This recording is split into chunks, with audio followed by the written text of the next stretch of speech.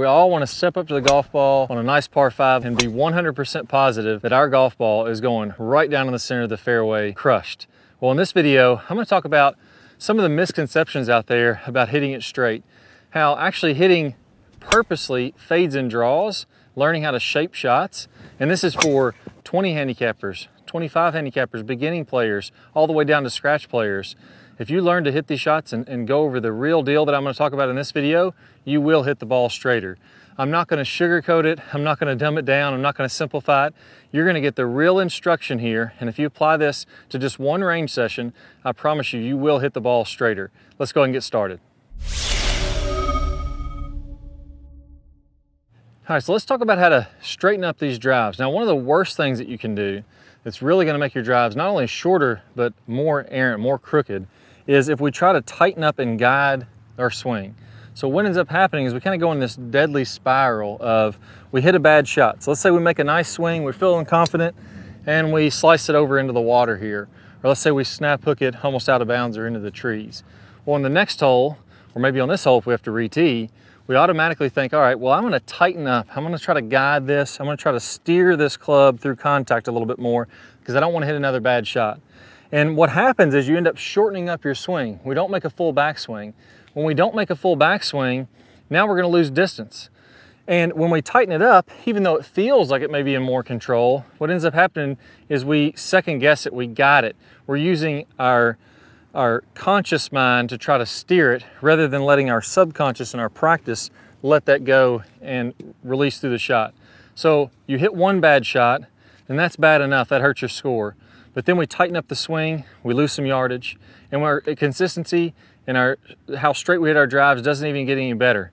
So what do we do from there? We hit another drive that's not very good. It's a little bit shorter and not very straight. And then we say, okay, well, I didn't shorten up enough. I gotta go even more controlled, guide it even more, and it just gets worse and worse and worse. Until eventually one day we say, the heck with it, I'm not even gonna try to guide it anymore. You get to the range, you start to free yourself up a little bit, and then you start to hit some better shots and it gets a little better just to repeat the cycle all over again. So let's talk about how to break this cycle. I'm gonna give you real step-by-step -step drills to help you do this, not just ideas and theories. You go to the range, you follow these drills, you will start hitting them straighter. Now the first thing is, whenever we're hitting this golf ball, we need to release through the golf ball. One of the worst ideas that we can have is try to hit at the golf ball to guide it or steer it down the fairway. What I wanna do is I wanna go ahead and open up my body. I'm gonna have my hips almost 45 degrees open when I'm at contact. I'm gonna have my chest 20 or 30 degrees open at contact, and then everything is gonna be releasing from there to what I call the straight line release. So from contact and through the ball, out here to in front, my hips, my shoulders, everything is opening up. My hands and arms are all pointing to about that 45 degree in front position. That's what we call the straight line release in the Top Speed Golf system. So if I go ahead and put a golf ball in front of the ball that I intend to hit, about four feet, that's the point that I'm trying to release towards. So if I tee up another one here, the last thing I wanna do is try to steer or guide or hit that golf ball down the middle. I'm gonna go ahead and swing freely on this golf ball. Let me go ahead and see if I got this on my target line. Yeah, it looks good right down the left side. I'm gonna go ahead and swing freely toward this golf ball and let the club do the work. I'm gonna trust that the releasing of this golf club is gonna allow me to hit it straight. So I'm letting my body open up, I'm letting this club release through the golf ball, and let's see what happens here. See if I can get one down the middle of the fairway. There we go, right down the center of the fairway. Nice little fade. Just ended up in the right center, right side of the fairway. Great shot there. So I didn't try to guide that or steer that or have it go you know, any control on that. I just let it go ahead and swing. I trusted that if I let this club release in front of the golf ball, it's gonna make things a lot easier. Now, we can't just stop there. That's the overarching idea. We can't control and guide. We have to free up the swing, let it release on in front, like a straight line release. But from there, now we need to learn to control the face and the path. So am I swinging right and letting the face release to a draw? Am I swinging a little left like I did on that one and letting the face stay open to hit a fade. And if we practice these, we're actually gonna get better and better and better the more we practice them. It doesn't take a ton of time, just a couple of quick range sessions, and you're gonna see a noticeable improvement. So let me grab my FlightScope here and let's talk about some of these angles that we're gonna look at to control face and path. Now what I wanna see here is I wanna see if I'm gonna hit a fade, I want my path or the direction I'm swinging to go a little bit to the left. And I want my face to be slightly open as that's happening. Just a little tiny bit goes a long way. If I wanna play a draw, I wanna come from the inside and let that face release and turn on over. Now, here's the thing. Everybody knows that, but everybody's been practicing it the wrong way. All the motor learning research out there has shown some really good secrets that we can do to speed up our practice and our improvement. If you want to hit it straight, what we have to do is actually practice something called interleaving or random or variable practice, meaning that I'm purposely going to try to hit a draw and then I'm purposely going to try to hit a fade. Now we're going to tie that in with a feeling of releasing the golf club rather than steering it, and it's going to make it even easier. Here's what I want to do. I'm going to go ahead and just set up a tee on the ground, and before I ever hit a golf ball, I'm just going to swing with my left hand only. Now again, this is going to help me to relieve some of the tension in my swing. I'm not really going to tighten up and try to guide that through there. I don't have a lot of strength when I'm just swinging one arm only, so I have to get the momentum of the club working kind of inside out. So I can see this club's coming from the inside and then releasing on over. Look how the club face is gonna turn all the way on over, now like it's almost pointing back down to the ground. I'm really exaggerating here. That would be a big draw type swing. So what I'm gonna do is just put my right arm behind my back and I'm gonna do five swings, really big draw, come from the inside, let that face release. And I just wanna let the momentum of the club do the work. I'm not trying to steer it and turn it over. I'm trying to position myself in a way and let the momentum of the club swing in a way that it naturally is gonna go ahead and turn on over. And I'm visualizing that ball starting out here and really drawing back to the left. Now it's really important to do these practice swings first and get the feel of that kind of effortless draw before we go into actually hitting a golf ball. If we rush straight into hitting a golf ball, we're gonna tend to just do what we've always done. So five swings, hitting that draw with our left hand, same thing with the right hand. Five swings, right arm only. Same thing, I'm letting that club come from the inside and I wanna feel the momentum of the club rolling on over. Look at the face again there, really turning over. All right, so I'm gonna go ahead and do five of these swings where I really focus on clipping the tee and I'm letting the momentum of the club turn on over. Now, if you do one and it feels like, oh man, I felt like I was gonna fade that one, go ahead and do another one until you get five good ones. So here, when I make this swing, that one felt like a nice draw. The one before, I felt like I left the face open just a little bit. Now you'll be surprised how good your feel is. I bet you know immediately if you're gonna hit a fade or a draw just by what you felt when you're swinging and clipping that tee. It's pretty amazing that your body is that in tune, but it really can be. So we're gonna do five good left arm, five good right arm, and now we're gonna go ahead and set up this ball and try to have that same free-flowing feeling and I'm gonna try to hit a nice draw here, kind of down the, around the corner on this par five. Let's try it out. There we go. Now I took that one right around the corner there, started a little left, went even a little bit more left. That's perfect. And if we look at, again, we're not trying to hit these dead straight yet. That comes with a little bit more practice from this.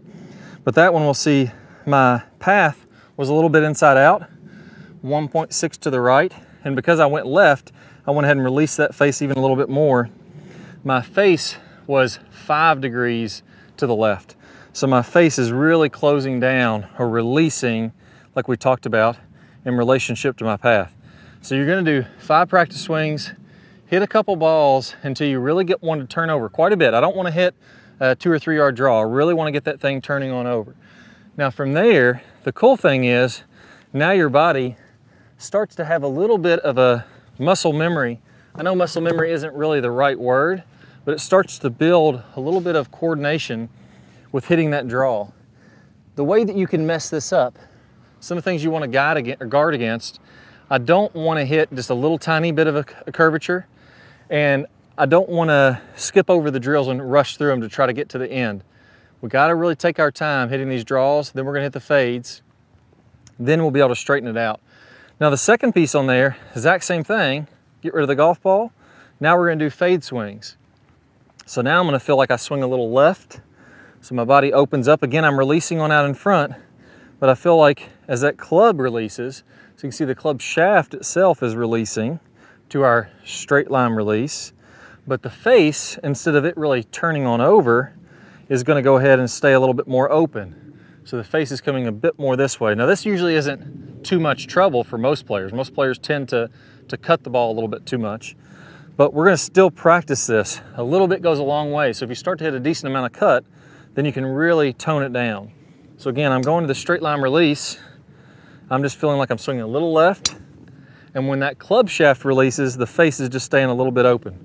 So again, I'm gonna do five what feel like they'd be a nice fade with my left hand only. Then I'm gonna do the same thing with my right arm only. Five, what feel like it would be a nice fade. I'm not trying to guide it, I'm not trying to steer it. I'm trying to get the feeling of the momentum of the club moving through impact correctly. Now, once I've done that, I'm gonna go ahead and try to hit that nice fade out there. Lining up a little bit left, letting that club release on and out in front. I'm not steering it at all.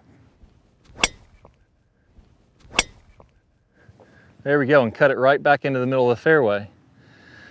So we'll see on this one, if I look on my FlightScope, I should see my path or the direction I was swinging a little more left and my face a little bit more open. So my path was almost 9.8 degrees left, 10 degrees left. My face was 4.1 to the right, or meaning it's open to the direction I was swinging. So those are all basically just a big fancy way of saying Look, if you try to hit it straight and you try to guide it, it's never gonna work. That's not the way that you can get really straight and accurate in golf. What we have to do to get straight is give up our feeling of control. Get used to letting the momentum of the club head hit some draws, the momentum of the club head hit some fades. So now I've found both ends of the spectrum, and now it's time to tone those down and get the straight ones here. So we gotta really spend a little bit more effort getting ready for these, now we're ready for the straight shots. Same thing, I'm just gonna use two hands this time. So take the ball off the tee, I'm using this tee, and now I'm gonna feel like I'm swinging squarely and releasing the club to the straight line release. It's not open like my fade. It's not really closing down a ton like my draw. It's just releasing at about a 45 degree angle there for the nice straight shot. So again, I'm gonna swing five times and in my mind, I'm thinking, okay, what's gonna feel like a nice straight shot? And I'm gonna clip that tee. Okay, that to me felt like a little bit of a fade. So I need to go ahead and release my hands a bit more, let the momentum of that club roll on over a bit more, and you'll be surprised how accurate you are at this. Let's try another one out. There we go, that felt like a nice draw. So again, while you're on the driving range, making a few practice swings, I don't want to throw the golf ball down there and hit golf ball after golf ball after golf ball because my tendency will be to tighten up and try to control. I got to clip those tees to lo let loose and feel like the club head is swinging freely. So now I'm finding that middle zone. Let's see if I can hit a fairly straight one here.